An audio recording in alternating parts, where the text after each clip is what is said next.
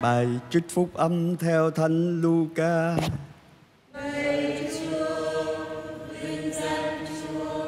Khi ấy, những người biệt phái và luật sĩ nói với Chúa Giêsu rằng, tại sao môn đệ của Gioan ăn chay và cầu nguyện, mà các môn đệ của những người biệt phái cũng vậy còn môn đệ của thầy lại cứ ăn uống người đáp lại rằng các ông có thể bắt các bạn hữu đến dự tiệc cưới ăn chay đang khi Tân Lan còn ở với họ chăng?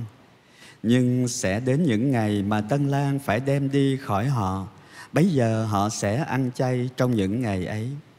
Người còn nói với họ thí dụ này rằng, không ai xé miếng vải áo mới và vá vào áo cũ. Chẳng vậy áo mới đã bị xé, mà mảnh vải áo mới lại không ăn hợp với áo cũ. Cũng chẳng ai đổ rượu mới vào bầu da cũ. Chẳng vậy rượu mới sẽ làm vỡ bầu da. Rượu chảy ra và bầu da hư mất. Nhưng rượu mới phải đổ vào bầu da mới Thì giữ được cả hai. Và không ai đang uống rượu cũ mà lại thèm rượu mới. Vì người ta nói rượu cũ thì ngon hơn Đó là lời Chúa Lời Chúa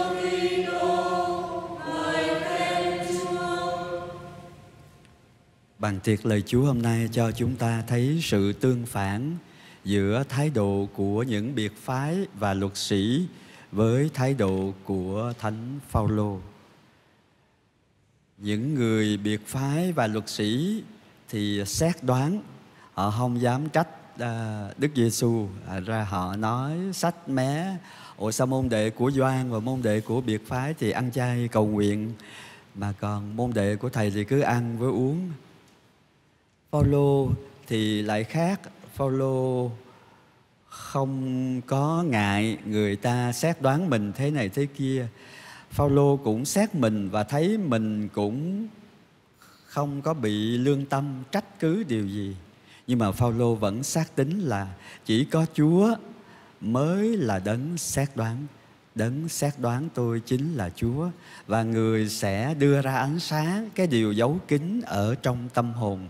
Và cái ngày sau hết thì ngài sẽ ban thưởng cho mỗi người xứng với cái việc họ làm. Phaolô cũng là cái người học thức thông luật như biệt phái và những người luật sĩ. Nhưng mà từ ngày gặp gỡ Đức Kitô, Phaolô đã trở nên một con người mới Phaolô không có áp dụng à, lấy mình là quy chuẩn chúng ta thấy cái sự xét đoán nó thường là tập trung vào cái cá nhân của mình hay là cái tập thể của mình? Ủa sao mấy người đó làm không có giống cái nhóm này không có giống cái nhóm của tôi? Tại sao người đó lại nói khác tôi? Và cái việc xét đoán nó dẫn đến cái hệ quả là mình dễ loại trừ cái người đó. Loại trừ trước hết là trong tư tưởng. À, mình sẽ không có bàn cái việc này với người đó. Tại vì chắc chắn người đó sẽ đưa ra cái ý kiến khác mình. Thành ra à, chúng ta được mời gọi thứ nhất là nêu gương Thánh Phaolô là một con người đã gặp gỡ Đức Kitô phục sinh cho nên đã trở nên một tạo vật mới. Ngài không sử dụng kiến thức của Ngài, hiểu biết của Ngài. Ngài không còn dựa vào cái kinh nghiệm, tức là Ngài không còn lấy Ngài làm quy chuẩn mà phải lấy Chúa làm quy chuẩn. Điểm thứ hai, chúng ta học nơi cách Chúa Giêsu trả lời và nói lên tại sao mình gọi là phúc âm, mình gọi là tin mừng. Vì có người nói rằng theo đạo công giáo khó lập hôn nhân thì không có được bỏ nhau rồi chúa nhật người ta đi chơi thì mình bị bắt buộc phải đi nhà thờ nếu mà người công giáo còn nghĩ là mình bị ràng buộc phải đi nhà thờ thì có lẽ cái thái độ mình tham dự thánh lễ nó sẽ khác như thánh lễ ngày thường, các anh chị đến đây là một sự tự nguyện. Mình thấy có nhu cầu tâm linh, mình cần được nuôi dưỡng bởi lời chúa và mình máu thánh chúa. Mình cảm thấy cái niềm vui khi mình gặp chúa. Thì khi đó, đạo mà chúng ta sống mới là đạo của phúc âm, đạo của tin mừng. Không khi tô giáo không có buộc. À. nhưng mà cái ngày lễ, cái thánh lễ được xem như một bữa tiệc cưới hội thánh là hiền thê của Chúa Kitô và chàng rể là cái hình ảnh mà người ta thường nghĩ là uh, dùng để chỉ đấng cứu thế là chính Chúa Giêsu Kitô. Và trong một bữa tiệc cưới thì đặc trưng của bữa tiệc cưới chính là niềm vui. Làm sao mà mình buồn, ờ, mình uh, sụ mặt xuống khi mà mình đi dự tiệc cưới được. Mặc dù mình mệt á, mặc dù mình vất vả đó nhưng mà đến với tiệc cưới ai cũng cố gắng làm vui lòng cô dâu chú rể. Người do thái đạo đức có truyền thống ăn chay hai ngày là ngày thứ hai và ngày thứ năm. Cầu nguyện họ cũng chia ra cái cử sáng rồi 10 trưa 12 giờ trưa và chiều xuyên nữa là tối cho nên ai không có đi vào trong cái hệ đó. Và khi ăn chay á thực ra cái cách ăn chay của họ cũng khác mình họ, họ ăn chay từ khi mặt trời mọc cho đến khi mặt trời lặn. Sau đó ăn uống như thường thoải mái ha, chứ không có ăn chay như người công giáo. Mặc dù mình chúng ta biết là chúng ta là cái à, tín hữu giữ cái luật giữ chay buộc á, là ít nhất ha, thứ tư lễ tro và thứ sáu tuần thánh. Nhưng mà ăn chay họ có ý nghĩa đó ờ, là cái việc ăn chay là mình dâng hiến cái thân thể của mình.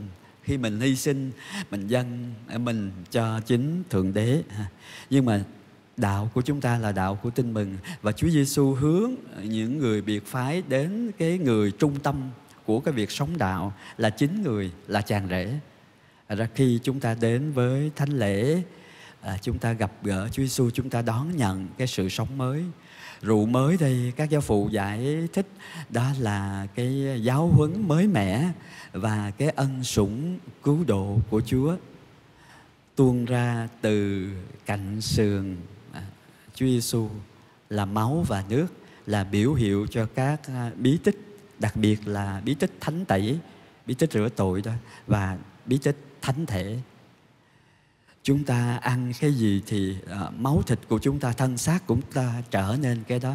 Nếu chúng ta đón chúa đón nhận lời chúa và tiếp nhận mình máu thánh chúa thì chúng ta sẽ trở nên giống chúa hơn như lời nguyện nhập lễ của lễ thánh tâm mà chúng ta vừa hiệp nguyện đầu thánh lễ ước gì khi tiếp nhận cái sự sống mới, mỗi một lần chúng ta dự thánh lễ là chúng ta tiếp nhận cái sự sống mới đó.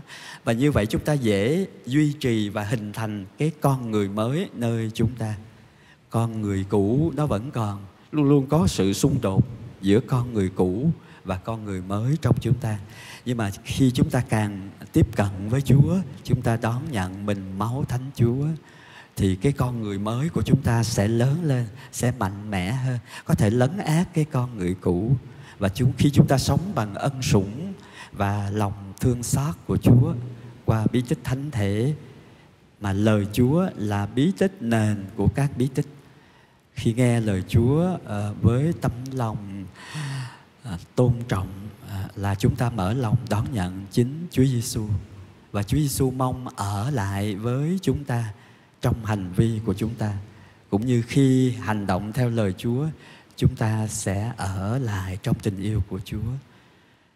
Xin cho mỗi người chúng ta, nhất là các bệnh nhân, những người phải tham dự uh, thánh lễ uh, từ xa à, và phải rước Chúa một cách thiêng liêng cũng được tài bồi ân sủng của Chúa và ước gì mỗi lần tham dự thánh lễ, chúng ta cảm nhận được cái niềm vui gặp gỡ Chúa để chúng ta luôn luôn cố gắng sống cái con người mới đang hình thành con người mà Chúa muốn chúng ta trở nên.